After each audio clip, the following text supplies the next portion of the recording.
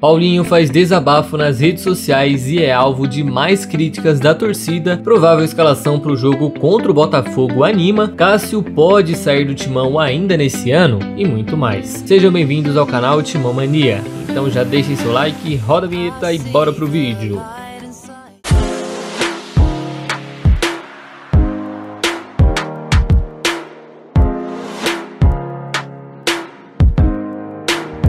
Fala aí, fiel, tudo certo com vocês? Bom, o Corinthians finalizou hoje sua preparação para o tão esperado jogo de amanhã no Rio de Janeiro contra o Botafogo. E essa expectativa toda é por vários motivos. Uma seria provar para a torcida que o time vai evoluir e jogar o futebol que a gente tanto espera desse elenco. Outro seria o encontro com Luiz Castro, que foi muito cogitado por aqui, muitos aprovavam, muitos também não, e acabou que veio Vitor Pereira. E por último, mas não menos importante, a freguesia nos últimos anos, né, digamos assim, do Corinthians contra o Botafogo. Ao todo, na história, são 40 vitórias do Timão, 26 empates e 48 derrotas. Já a última partida entre ambos, em dezembro de 2020, culminou em vitória do Alvinegro Paulista por 2 a 0. Ainda assim, eles são uma bela pedra no sapato pra gente e com certeza isso deve pesar. Ainda mais agora com o time que eles vêm montando ao longo do ano. E bem, para essa partida, o técnico Vitor Pereira promete muitas mudanças em relação ao seu último último jogo na Bolívia. A expectativa é que Maicon possa fazer sua reestreia como titular, Roger Guedes e Cantijo voltem ao time e Bruno Melo e Raul Gustavo possam estar 100% para quem sabe serem titulares nessa partida. E sabendo dos jogadores que foram relacionados hoje mais cedo, é provável que a gente tenha um Corinthians com Cássio, Duqueiroz, João Victor, Gil ou Raul Gustavo, Lucas Piton ou Bruno Melo. Talvez ele até opte por Lucas Piton por não ter um lateral ofensivo do outro lado. Cantijo Montijo, Maicon e Renato Augusto, Adson, Roger Guedes e William. Claro, tudo isso é apenas uma mistura de palpite com apuração, mas é certo que esse time não vai ser o mesmo de terça, certo, fiel? E aí, animados para esse jogo ou preparados para passar raiva mais uma vez? Olha que não vai ser fácil, hein?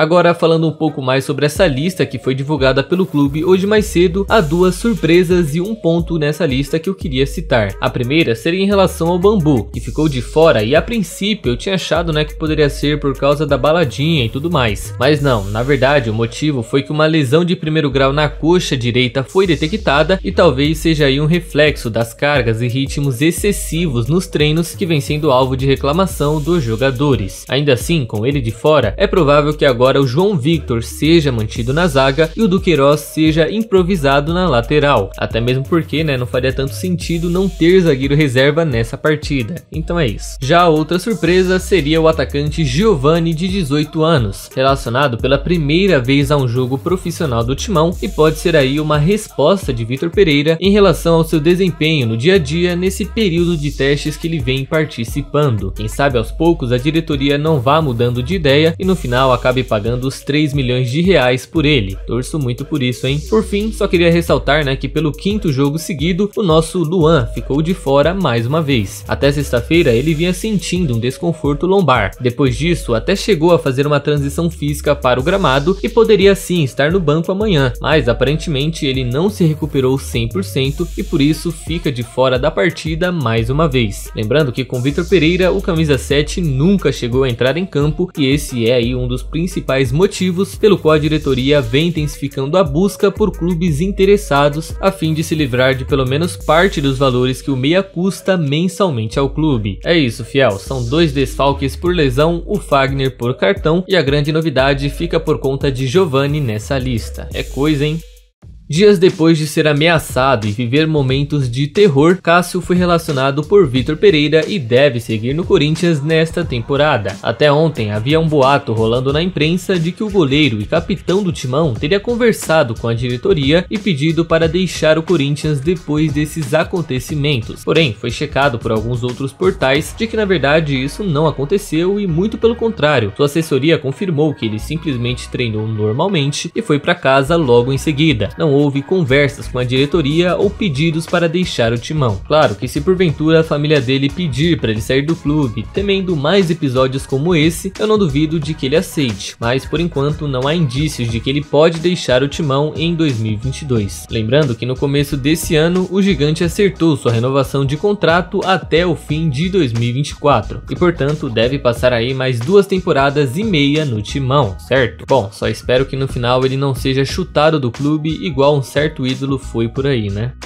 Além de Cássio e Gil, mais jogadores do Corinthians obviamente sofreram ameaças pesadas em suas redes sociais. William, que não vem de bons momentos no timão, apesar de só apanhar dentro de campo, divulgou duas conversas onde uma, um torcedor foi até a filha dele para manifestar sua insatisfação contra o desempenho de seu pai e outra onde foram no direct da esposa dele para fazer o mesmo. Pois é, e essas foram apenas duas das várias e várias ameaças e cobranças também que ele recebeu. Provou justamente daquilo que ele tanto falava quando não estava aqui no Brasil, infelizmente, né? Além dele, Paulinho também teve algumas ameaças e cobranças em seu perfil, mas ele preferiu se manifestar em forma de texto desabafando sobre toda essa situação, dizendo aqui, né, resumidamente, que todas essas ameaças já foram levadas à polícia e que toda essa pressão mais atrapalha os jogadores do que ajuda. Pois é, por um lado, eu até entendo que essa parte dessa pressão realmente não ajuda. Só que assim, tudo isso é consequência consequência do que eles fizeram. Acredito que o Romero nunca tenha recebido algo desse tipo. Por que será? Porque ele jogava bem em todos os jogos? Porque ele tinha carisma? Não, era simplesmente porque ele dava vida dentro de campo. Não importava contra quem era ou quanto estivesse, ele estava lá para jogar com fome de bola e isso era muito reconhecido pela torcida. Agora, esses jogadores que chegaram acham que podem se safar de críticas só por causa do nome? Claro que ameaças não são legais e não devem ser aceitas em lugar nenhum, mas críticas críticas, como eu faço, como jornalistas e outros torcedores fazem, são naturais. Ninguém é de ferro. Talvez se não tivesse nessa tiriça para jogar, teria passado batido. É o que eu acho. E vocês? Tem um pouquinho de vitimismo aí do nosso volante? Olha que ele já sabe como as coisas funcionam por aqui, né? Então não dá para pagar de louco também.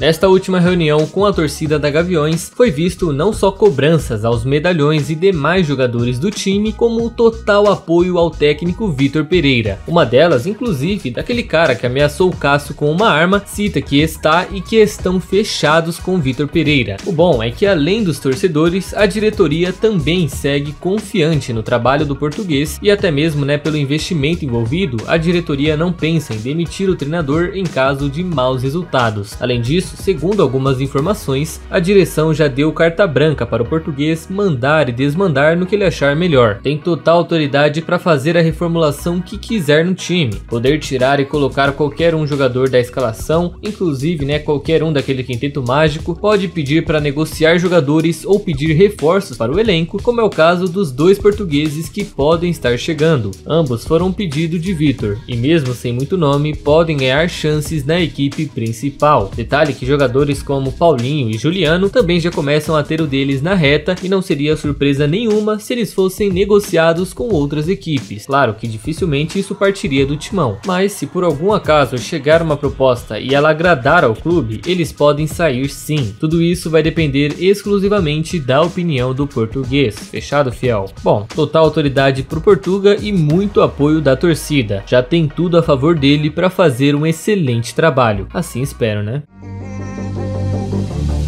Então, fiel, é isso por hoje. E antes de vocês saírem do vídeo, não se esqueça de deixar a curtida e se inscrever no canal, que já vai estar tá me ajudando demais e vai contribuir para mais vídeos por aqui, certo? Espero vocês numa próxima, tamo junto e vai Corinthians!